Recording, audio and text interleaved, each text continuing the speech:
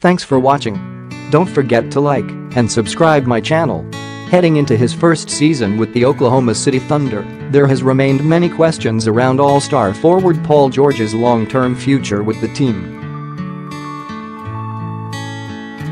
However, since his arrival has continued to praise the organization for their efforts in building a team that could potentially compete for an NBA title. George once again spoke highly of the Thunder, namely general manager Sam Presti, voicing that he's been impressed by the moves that have constructed the current roster, according to Chris Mannix of The Vertical. I'm committed here, we're all committed, George said. We want this to happen, and we want this to work really well. Once we get on the court, it's been like magic. We understand one another, we have a feel for one another, we know each other's games so well. We want to make the most out of it, to be in the best position to succeed. Being able to acquire talented guys, superstar guys, all-star guys in a small market, still being able to compete in the best conference, that stands out more than anything, George said.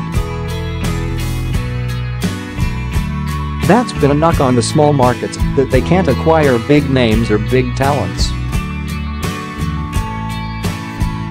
This organization has and does. They have been competitive ever since they have been in this market.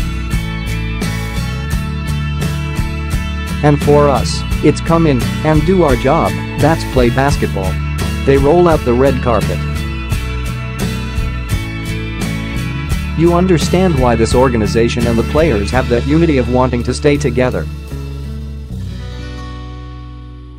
George may have an opportunity in front of him to build something special with the Thunder alongside reigning league MVP Russell Westbrook and fellow All-Star forward Carmelo Anthony. The trio could make the Thunder a formidable threat to finally dethrone the Golden State Warriors in the Western Conference this upcoming season. If this can come to fruition, it could go a long way in securing George under a long-term deal next summer when he does become an unrestricted free agent.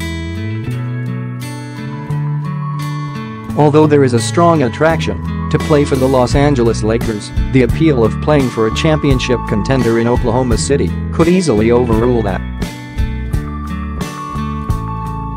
Thanks for watching. Don't forget to like and subscribe my channel it's something that only time will tell if the Thunder have laid the foundation of what could be another powerhouse in the NBA.